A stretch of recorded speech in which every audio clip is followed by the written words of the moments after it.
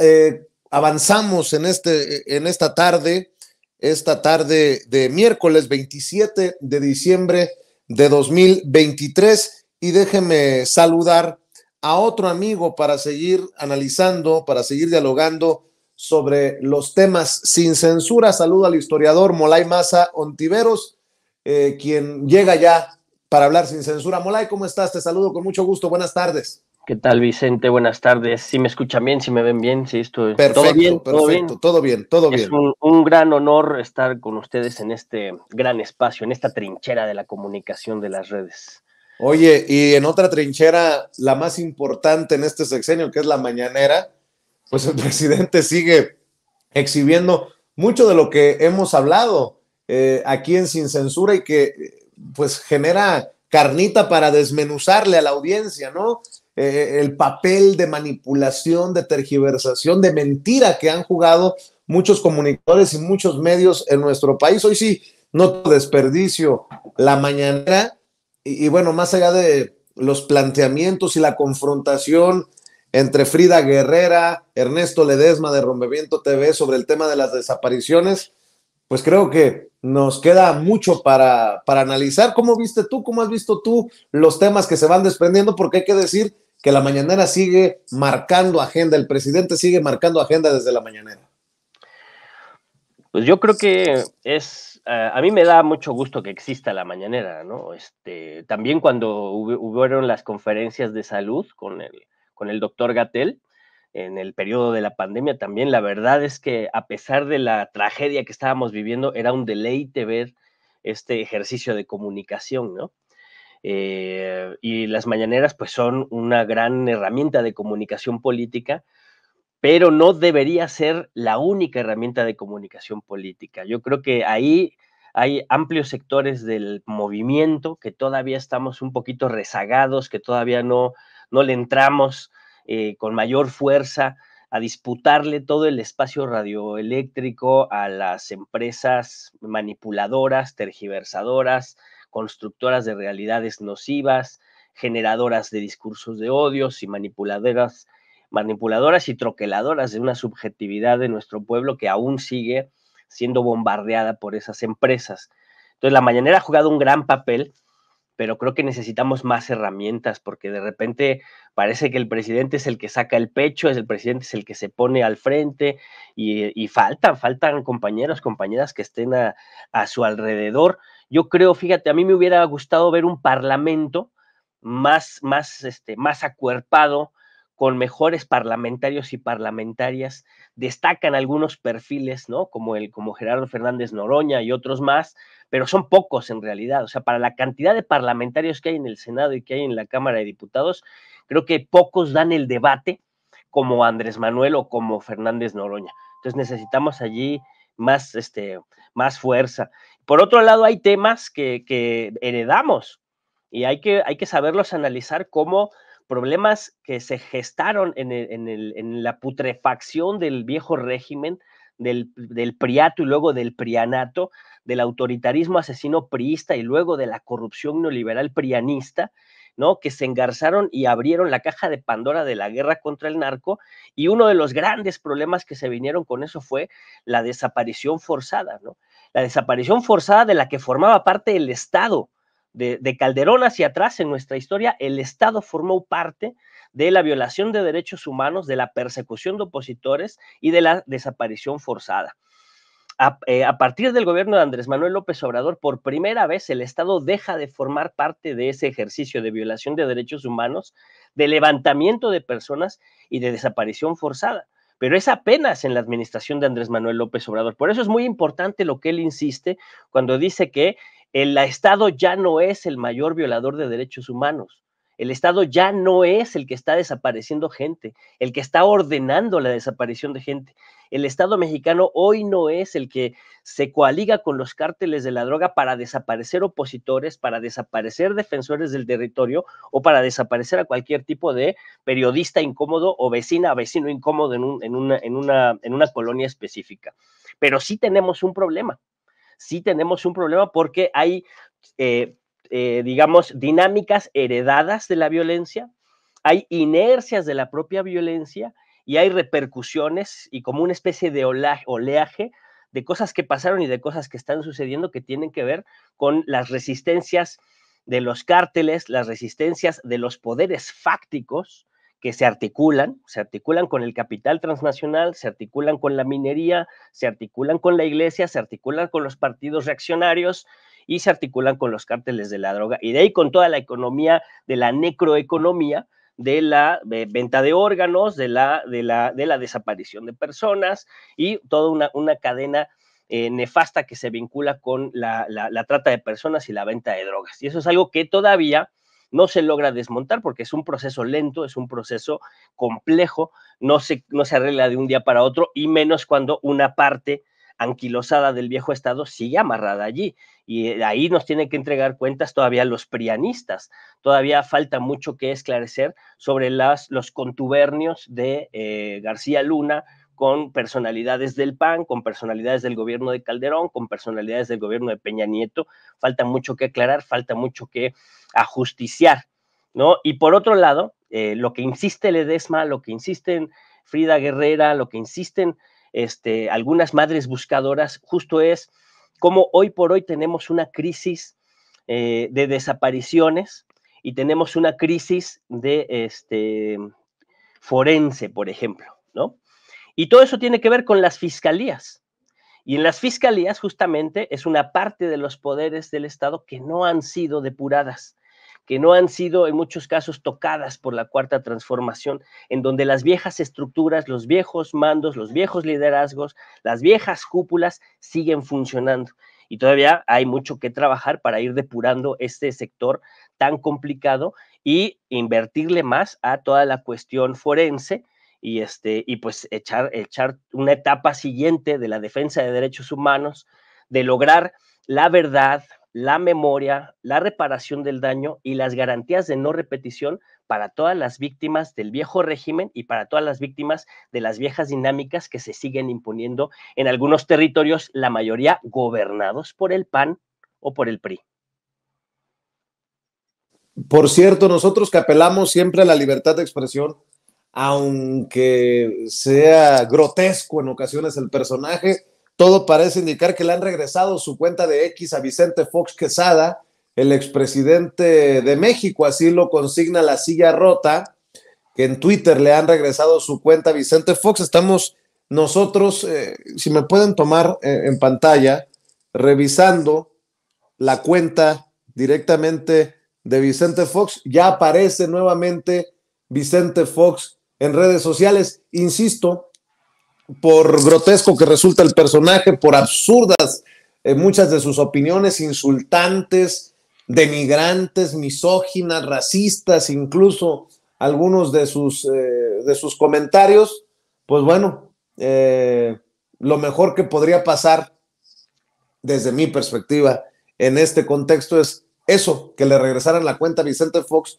porque solito se exhibe y solito exhibe a esos personajes con los que hay contubernio entre los conservadores, salvo que tú digas otra cosa, Molay.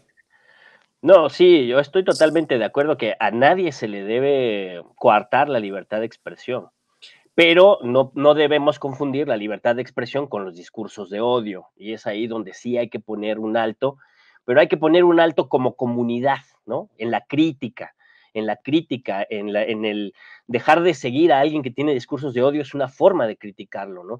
Encararlo y, hacerle ver su error de manera racional, de manera argumentada, de manera rigurosa, eso es parte de la libertad de expresión, pero no podemos tolerar discursos de odio y hacer como que no oímos nada, este, porque es libertad de expresión, eso no, no hay que confundirlo.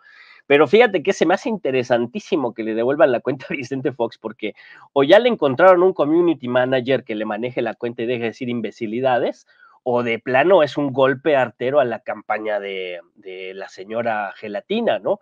Porque ese, ese hombre era uno de los mayores boicoteadores de la campaña del Prianato, y no creo, este, te digo, o ya le, le, ajustaron un equipo para, para hacer propaganda, o eh, de plano es un este, mañana al ratito, en, en, unas, en unos cuantos momentos, estamos a punto de empezar a ver ya sus irreverencias, ya sus barbaridades y hacerle competencia al señor Salinas Pliego en la, en la sarta de, de que se avientan. No creo que se avienta una competencia, este, a ver quién hace el tuit más, más horrendo entre el saco de pus, Salinas Pliego y este señor, ¿no? Vicente Fox. Pero lo que sí es importante es que se respete el derecho a la libre expresión de las ideas y del, punto de vista de cada quien. Lo que nunca me ha dejado de, gustar es cómo esta cuenta, esta, esta red social, ¿no? Ex, antes Twitter, o el mismo Facebook, o el mismo YouTube, u otras redes sociales como el, TikTok, ¿no? Eh, pues son privadas al final. Al final son propiedad de alguien y ese alguien con un algoritmazo puede borrar del mapa a un canal tan importante como este o a otros canales o diferentes puntos de vista y entonces sí se pierde la, pluralidad la libertad y la apertura de un mundo tan complejo y tan, tan, y tan heterogéneo como el nuestro, se pierde porque sí, este, sí, sí hay, sí hay, eh, sí hay eh, el baneo de cuentas y sí hay la, la, la, la censura de, quienes no piensan como eh, los, las, grandes matrices de opinión imperiales este, obligan a pensar. A mí, a mí me, me, saca de quicio, yo cuando entro a mi cuenta de Twitter, ahora ex, siempre, siempre está tapizado todo de propaganda del PAN y de propaganda del gobierno de Israel y, de, y, del, y del victimismo hipócrita y grosero de la ocupación israelita en Palestina y este, cuando yo no, ni les doy like ni les doy seguir, ¿no? De repente no me queda más que contestarles de la manera menos grosera que puede uno hacerlo, pero a mí se me hace, se me hace eso insoportable, o sea, la cantidad de propaganda grosera, asesina, miserable que uno tiene que aguantar de quienes tienen el poder, de los, quienes tienen el dinero, ¿no? Porque al final las, la, la, la red social pues es privada es de un tipo que tiene sus intereses fincados con lo peor de los gobiernos reaccionarios y del imperialismo, y pues uno tiene que zamparse toda esa propaganda. Entonces ahí, ahí ya no hay tanta libertad de expresión, eso habría que cuidarlo. Yo abogaría porque fuéramos generando este, una especie de red social comunitaria y autogestiva vinculada con el Estado social y democrático, que en donde estemos todos comunicados y no dependamos de Facebook, ni de Twitter, ni de YouTube, ¿no? Habría que ir pensando en eso, en, en hacer del Internet un espacio público, realmente público, y no, este, no gestionado por intereses privados. Qué interesante lo que mencionas, mi querido Molay. Déjame saludar eh, en la recta final también a la querida Alina Duarte, nuestra corresponsal, nuestra reina de Xochimilco, por cierto, a ambos no les había deseado eh, lo mejor en estas fiestas decembrinas, que Navidad se la hayan pasado bien, que se venga un buen día de Reyes, que el 2024 venga cargado de bendiciones y de eh, mucha productividad. Mi querida Alina, ¿cómo estás? Te saludo con mucho gusto. Buenas tardes. Bien, Vicente, aquí feliz de estar aquí en, este espacio, como siempre, libre como el viento. Y eso que no nos hemos visto, pero me transmitiste la enfermedad condenada, mi querida Lina.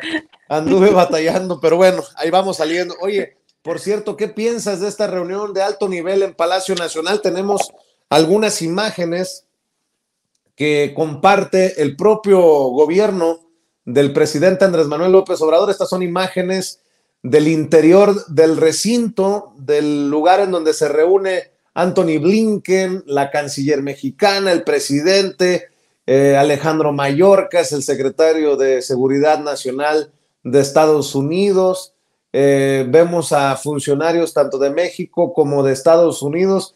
Esta reunión que se da luego de la llamada telefónica entre los presidentes de México y Estados Unidos hace unos días.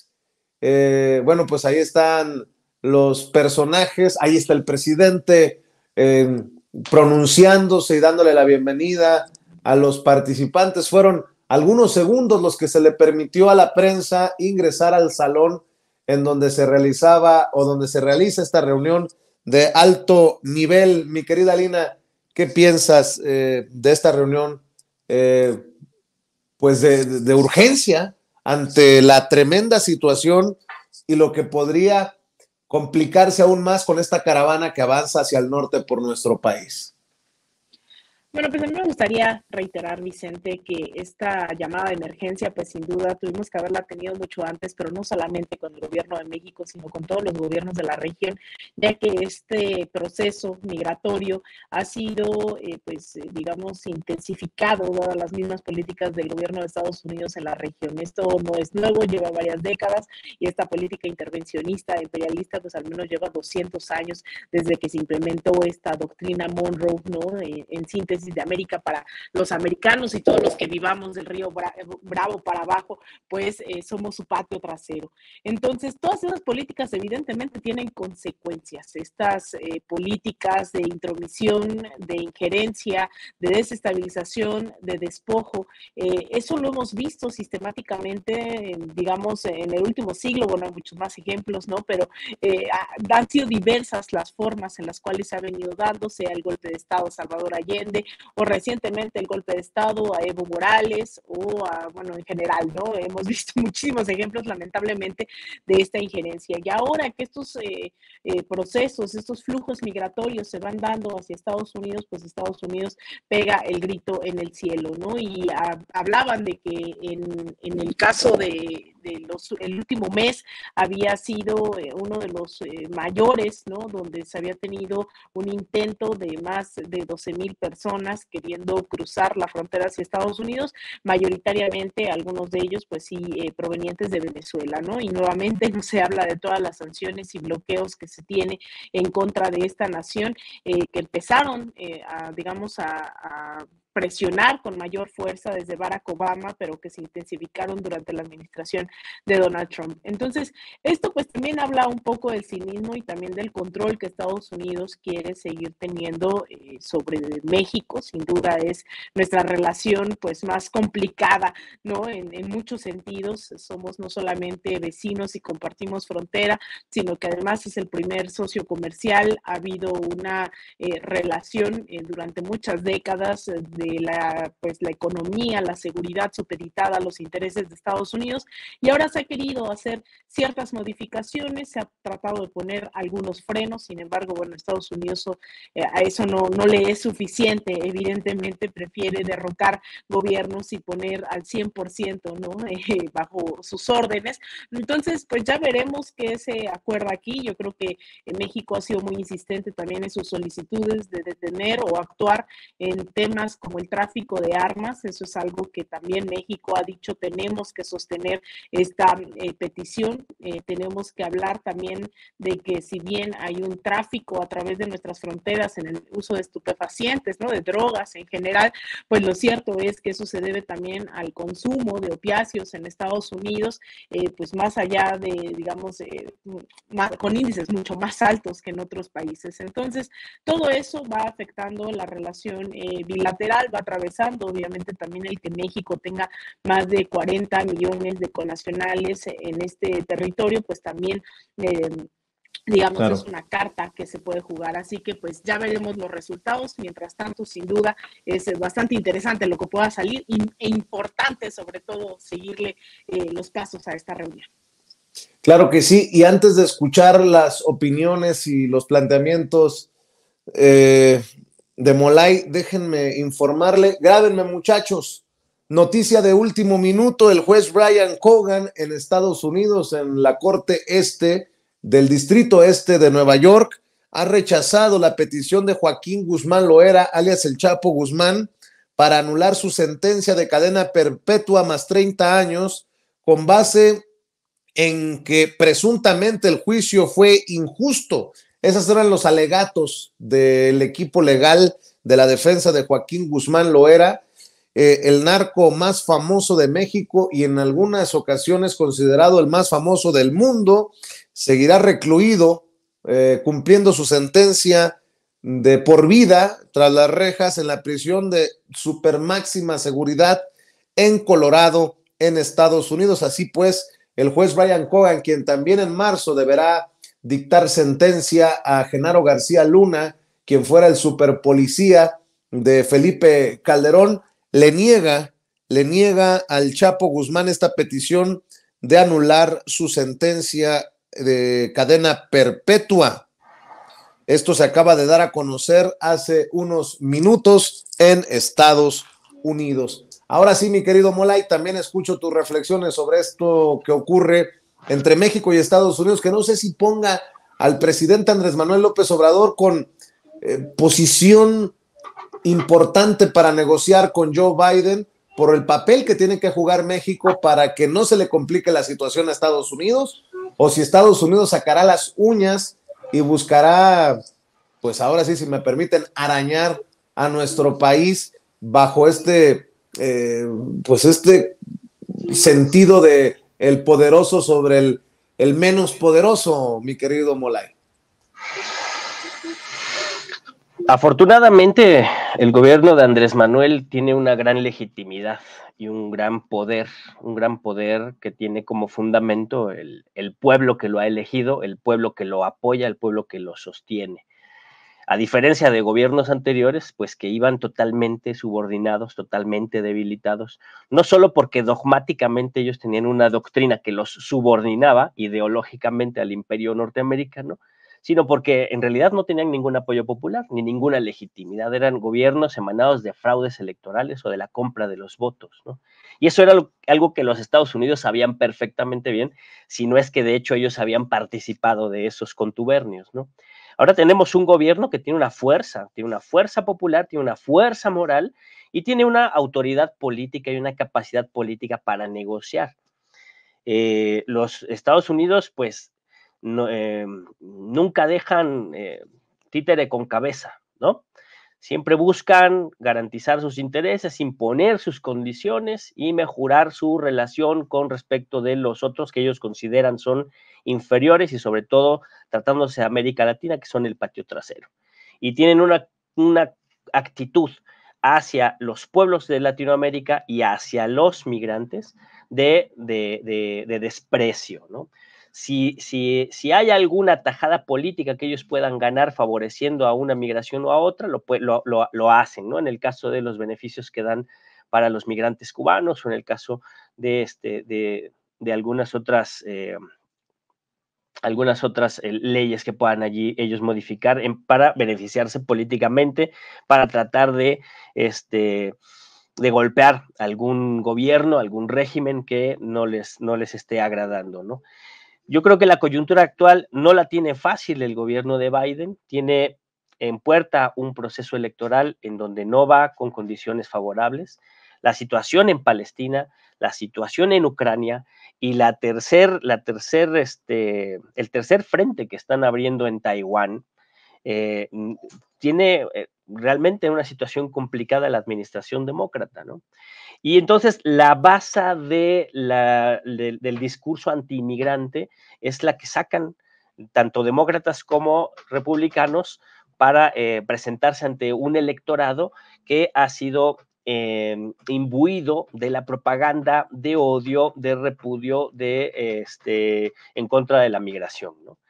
Entonces, eh, yo creo que vienen buscando eh, sacar una declaración que favorezca el relato de los demócratas endurecidos en frente a la migración, ¿no? Y que le trate de arrancar banderas al discurso abiertamente reaccionario y antiinmigrante de los republicanos, ¿no? Entonces empiezan a pelearse a ver quién, quién aparece más violento, quién aparece más reaccionario y a ver si le pueden sacar a México una declaración que favorezca su relato, una declaración que favorezca su posicionamiento, ¿no?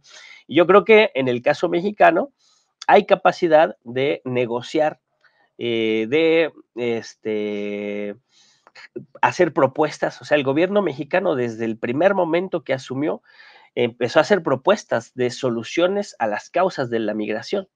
Andrés Manuel López Obrador ha insistido en eso una y otra vez. Incluso hay recursos de los programas sociales que se están destinando a zonas de Centroamérica porque las causas de esa migración son la pobreza y la violencia generadas, eh, ya lo decía Alina Duarte en, una, en una de sus participaciones en otra ocasión, generadas por el imperialismo norteamericano en América Latina, este, esas condiciones de miseria y de violencia que producen la migración. Entonces la solución es dejar de mandar miles de millones de dólares en armamento, dejar de mandar armamento a Israel, dejar de mandar armamento a Ucrania, dejar de mandar armamento a nuestro territorio, favoreciendo a los narcos, ¿no? Y usar ese dinero para desarrollar el campo, para desarrollar la industria, para desarrollar y la autonomía y la capacidad de autogestión de los pueblos y el mercado interno y el desarrollo de los pueblos, ¿no? Entonces, eh, no, no, no dudo yo que Andrés Manuel tendrá propuestas que hacer en ese sentido y que, pues, en todo caso se negociaría, se negociará alguna declaración que haga aparecer a los dos gobiernos como que están ofreciendo soluciones al tema de la migración. Pero mm, las soluciones, pues las hemos planteado, las ha planteado el gobierno del presidente Andrés Manuel. Las soluciones son invertir en los pueblos, un plan Marshall para América Latina, decía Jaime Torres Bodet en los años 40. Necesitamos un plan Marshall para América Latina para reconstruir las naciones de América Latina de toda la violencia, de todo el saqueo que ha producido la forma en la que está organizada la economía hasta la fecha. Entonces, este, bueno, pues yo creo que hay buenas condiciones de negociar. Eh, viene en una situación muy, muy difícil la administración Biden y, este, y veremos qué, qué declaración sale de esta, de esta reunión de alto nivel. Eh, yo quisiera, ¿qué más quisiera yo? Que hubiera una, una exigencia de que se cesara el apoyo vil, inmoral, grosero, grotesco, violento, fascista de la administración de Joe Biden al sionismo en Israel. Eso creo que es una, es una deuda que tiene nuestra cuarta transformación con los pueblos en Palestina, pero pues bueno, las situaciones a veces no, en la realpolitik las cosas no son tan, tan sencillas, ¿no? Pues mi querido Molay, me da mucho gusto saludarte. ¿Por qué no cerramos eh, esta ocasión, como siempre, invitando a la audiencia de Sin Censura que te apoye en tus esfuerzos independientes, en tus trincheras? Pues sí, pues agradecerles y desearles que tengan un muy, muy, muy feliz año a todas las camaradas, los camaradas que nos ven, a Lina, a Víctor Aramburu, a Horacio Franco, que estuvieron aquí hace ratito, a Lina Duarte, un gran abrazo, y a ti, Vicente Serrano, un gran, gran abrazo. Eh, me buscan como Molay Masa en Facebook, Molay Masa en TikTok, Molay Masa en Twitter, aunque yo no genero contenido, yo nada más ando retuiteando todo lo que me llega sobre Palestina, todo el testimonio, todas las imágenes que nos llegan de dolor, del sufrimiento de niñas y niños, de mujeres, de hombres, de ancianos, ancianas que están siendo masacrados ahí en la franja de Gaza, y me la paso reproduciendo eso. Y sobre Argentina, fuerza a nuestros compañeros y compañeras de Argentina, fuerza al pueblo de Argentina, que hoy tiene una gran movilización de masas y está en puerta el paro nacional para tumbar al fascismo, para frenar las, la, las, la motosierra fascistoide de ley y hay que mandarle mucha fuerza al pueblo de Palestina, mucha fuerza al pueblo de Argentina. Y acá vamos a estar en los círculos de estudio. El 8 de enero tenemos un círculo de estudio donde vamos a discutir el tema de las 40 horas, la jornada de trabajo, la extracción de plusvalía y la jornada de trabajo y el tema de las 40 horas el, el 8 de enero, lunes 8 de enero a las 7 de la noche en el Círculo Semilleros de Conciencias. Y el 11 de enero, jueves 11 de enero, vamos a tener un conversatorio con la compañera diputada Susana Prieto Terrazas, que ha impulsado el tema de las 40 horas. Eso va a ser a las 7 de la noche también por Facebook Live en el Facebook de Semilleros de Conciencias. Los domingos a las 5 de la tarde tenemos el Círculo de Estudios Esparta y los martes a las 7 de la noche el Círculo de Estudios de norte a sur. Ahí son bienvenidas, bienvenidos a discutir, a construir colectivamente el conocimiento para lograr la revolución de las conciencias y la emancipación de nuestro pueblo. Muchas gracias. Igualmente, muchas gracias a ti, mi querido Molay, mi querida Lina, qué bueno que llegaste eh, para saludar a esta audiencia también diferente, e inteligente. ¿Por qué no cerramos invitando a la audiencia a tus redes sociales, querida Lina? Gracias, Vicente. Pues sí, todavía me fui a hacer varios estudios, me fui a sacar sangrecita y cosas de esas, así que eh, pues perdón la demora, pero sí alcancé a llegar. Eh, pues a mí me pueden encontrar en todos lados como Alina Duarte, en YouTube, en Facebook, en Twitter, en todos lados estoy como Alina Duarte guion bajo o guion bajo Alina Duarte y también en nuestro esfuerzo eh, formativo en el Instituto Nacional de Formación Política de Morena y también en el esfuerzo mediático que es de raíz guion bajo media en YouTube. Hay varios compañeros y compañeras que están haciendo haciendo una labor de verdad impresionante. Estoy muy orgullosa de que se hayan sumado varios y varias ahí a hacer una comunicación abiertamente de izquierda, militante, para ir a la raíz de las cosas. Así que bueno, Vicente, te mando un abrazo a ti, a Molay, a Ceci, a don David y a toda la audiencia de Sin Censura. Cuídate mucho, Alina, cuídate mucho, por favor. Esperemos que te recuperes pronto al 100%. Por lo pronto te mando un abrazo. Síguela pasando bien, estamos al pendiente. De Reyes, ¿eh, Vicente? Espero mi regalo de Reyes. Se está cortando la comunicación, no sé qué está diciendo Alina Duarte. Este, córtenmela, muchachos, córtenmela. mi querida Alina, te mando un abrazo, claro que sí. Estamos al pendiente. Alina Duarte, nuestra reina de Xochimilco. ¿Y sabe qué? Lo invito para que esté al pendiente en Sin Censura TV, Sin Censura Media y Sin Censura Presenta en nuestros tres canales en YouTube a eh, los diferentes videos, segmentos y reacciones que va colocando el equipo de producción durante la tarde. Por lo pronto, yo me quedo con el agradecimiento por aguantarnos y nos vemos mañana eh, en vivo y en directo, obviamente, a las seis, tiempo de la Ciudad de México, con Toño, las noticias del momento y el previo de la mañanera. Y ya mañana espero que completamente restablecido de esta mormadera, de esta, eh, eh, de esta irritación en la garganta. Así que muchas gracias por aguantarnos, gracias por apoyarnos y gracias por compartirnos. Buenas tardes, que Dios lo bendiga, que Dios nos bendiga a todos.